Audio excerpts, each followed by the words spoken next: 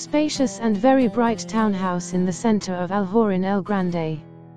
The property can be accessed from two different streets and is distributed over two floors plus a roof terrace with storage room.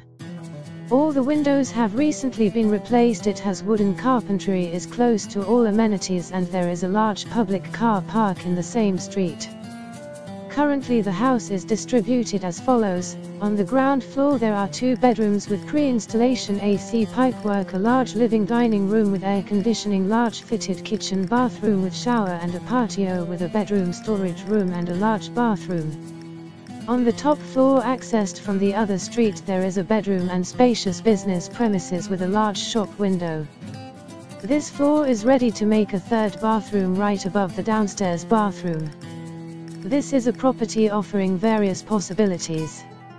You can make two completely separate homes a house with a large garage or leave it as a home and business premises.